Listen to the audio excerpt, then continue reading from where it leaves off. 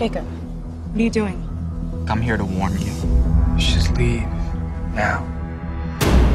She has a right to know. What? We've been tracking the situation in Seattle for a while. Unexplained disappearances, killings. Someone's creating an army. An army of vampires? They're coming here.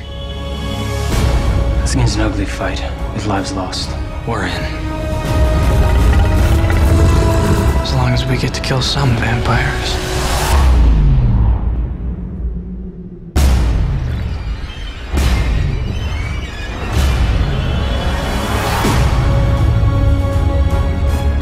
It's time. Yes, it is.